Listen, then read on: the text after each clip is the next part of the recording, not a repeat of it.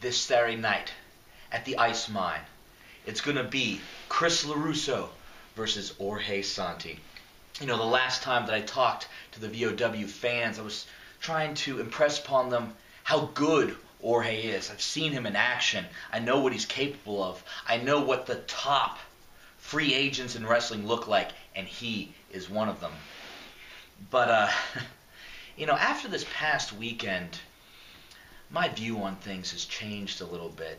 See, Jorge, I no longer look at you with any degree of awe or reverence because I know I'm right up there with you as far as top ranked free agents go in the wrestling business.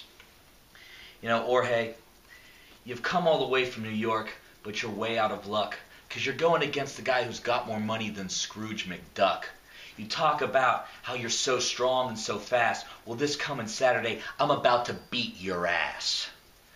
VOW fans, you are getting this match on a discount. What you pay this Saturday is not going to be as much as the pay-per-view match you see the two of us in in a couple of years. And I'd love to sit here and chat with you a little bit longer, but the centerfold model holding the camera isn't going to tie herself to the bedposts. So uh, let's wrap this up. I'll see you on Saturday, Georgie.